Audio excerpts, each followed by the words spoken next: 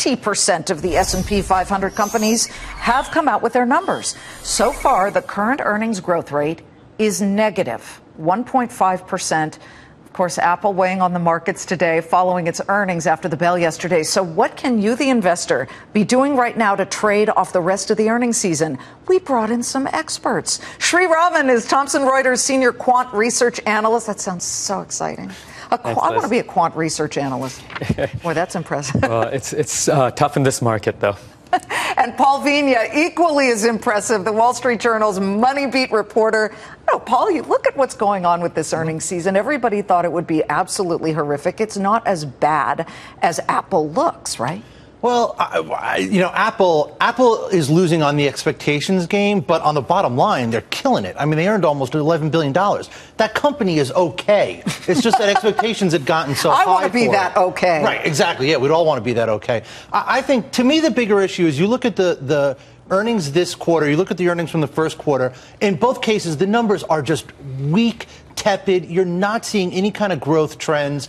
And to me, you're going to see a lot of companies, and I'm sure you've heard it, everyone's talking about the dollar, right? Because that's the easy boogeyman. Mm-hmm. But the fact of the matter is, there is little demand in the U.S. economy, in the U.S. consumer, overseas. There is just, there is no sort of fundamental driver to get the bottom line and the top lines growing a lot. And you're now looking at two straight quarters of this. This is a real issue. Sri, um, you know, Apple may take people for a temporary loop. I think that's a, that's sort of a red herring because this is not the worst ever. However, which sectors are actually doing really well that have jumped out at you and surprised you? So financials have done well this quarter. Their expected growth rate is 17.4%. mm hmm But once again, with a caveat, Citigroup actually had weak earnings last year because of some charges it took. So that really helps the year over year comparison that we had this quarter. This, the industry that really jumped out this quarter was home builders. Uh, so the consumer discretionary is doing really well with a 7.1% expected growth rate this quarter. But the home builders really stand out. They have a 56% expected growth rate. Tell me, tell me which names can upside surprise because now this is where he brings out the crystal ball. Sri does this very well. Give me three names that you think will surprise to the upside earnings season right now. Absolutely. So Boyd Gaming is one that we think will surprise on the upside. Uh, it has a positive predicted surprise. The most recent analysts are above estimates. Okay. And keep in mind, they don't have exposure to China. And China is really the one that's being hit. Mm-hmm. Uh, another one is EOG Resources.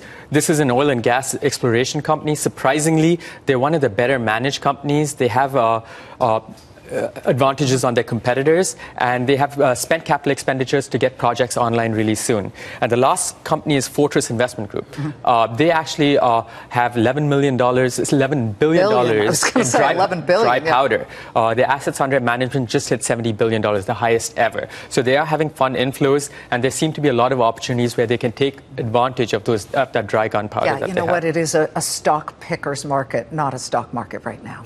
right. You've got to pick the right ones. All right.